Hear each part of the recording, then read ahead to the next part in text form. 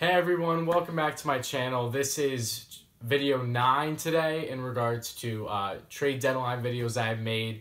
And Sami Vatanen has been traded from the New Jersey Devils in return uh, to the um, Carolina Hurricanes in return for uh, Fredrik Claesson, who is a seventh defenseman, you know, AHL defenseman for the most part.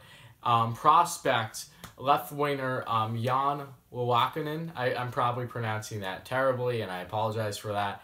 And a conditional 2020 fourth round pick that becomes a third round pick depending on the amount of games that Sami Vatanen plays for Carolina. So once I find out the actual details as to the amount of games, I'll put that in the comments below. But this was another massive trade that Carolina made. Um, with obviously getting Brady Skjei already and Vincent Trocheck.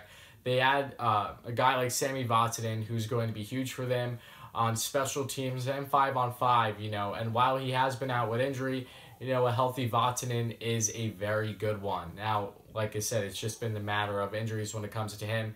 And I feel that was in direct effect with the the return that the Devils were getting. If Vatanen was healthy all season, I definitely would have expected a bigger return for a guy like him. But because of that, it makes it makes sense why this kind of return happened. But Carolina gets Vatanen, and in 47 games played this year, the 28-year-old defenseman has eight, five goals, 18 assists for 23 points, and has a plus minus of minus 12, and only had 17 points last year in 50 games. So since he became a member of the Devils, he didn't play any more than 57 games and has never played a full NHL season in his entire career. The most games Vatanen has played in the NHL was um, I think back to back seasons with the Anaheim Ducks, 71 games uh, apiece. So he's been injury prone his whole career. We all know that. But like I said, when he is healthy, he is a dynamic puck moving defenseman that can contribute offensively for sure.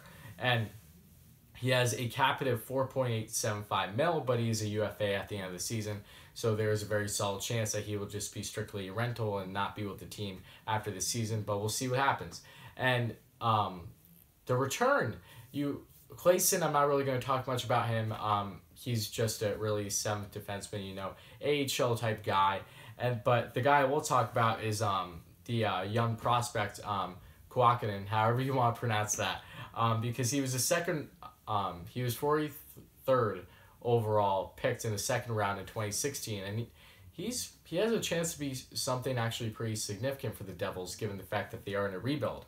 Um, in the in the AHL this year, uh, for the Charlotte Charlotte Checkers, in 52 games played, he has 12 goals, 30 assists for 42 points. So really solid, and he did have a cup of coffee with um, Carolina this year, I believe, playing seven or eight games, but nothing really to show for it.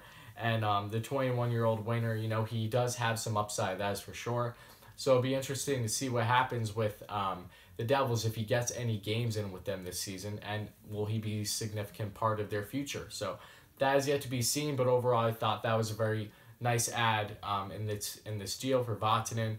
Overall, I feel that the Devils could have gone more, but given the injuries, it makes sense why this was a kind of return. So, if you're a fan of either team, the Devils or Carolina, let me know what you think. Do you, are you happy? Not happy, feeling iffy about the trade, please let me know in the comments below. And if you haven't checked out previous videos regarding today or previous videos in general, please do. I do NHL content, just all things NHL related videos wise that I just feel that I should make a video of. So, like I said, if you like the video, please like, subscribe, comment, all those great things. I really appreciate it. And I have a couple more videos I have to make for the for today with other trades that I feel are video worthy. So, thank you all so much for watching, and I will be back soon.